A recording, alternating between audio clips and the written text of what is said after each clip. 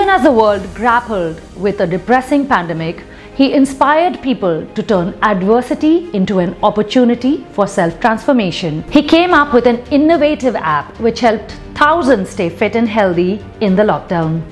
Amid the pandemic, Tushar Vashisht's health and wellness app Healthify Me helped people across India lose body weight and adopt a healthy lifestyle through virtual classes.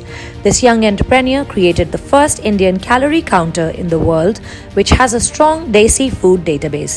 He brought together more than a thousand nutritionists and trainers that cater to local and regional lifestyle at a fairly low cost. Along with helping people switch to a healthy diet, Vashisht's app also offers dance classes for children and yoga lessons for elderly. It's a big honor, it's a deep privilege to receive the Trailblazer Award. So thank you Hindustan Times for, uh, for bestowing it upon me and upon Healthify Me. It feels great and I'm glad that others can uh, in the country can see our story and get inspired by it.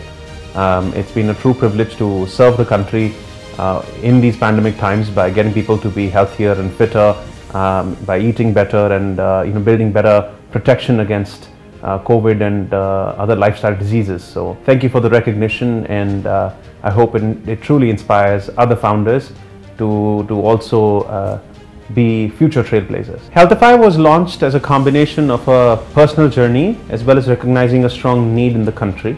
I came and joined Nandan Nilekani to help build and uh, roll out Aadhaar, uh, the unique ID program back in late 2010, early 2011 and in two years, I helped, uh, as part of the team, uh, we were able to uh, take Aadhaar from a concept to about 400 million unique IDs issued. During that time, I recognized and realized that India's obesity levels had also doubled between 2005 and 15.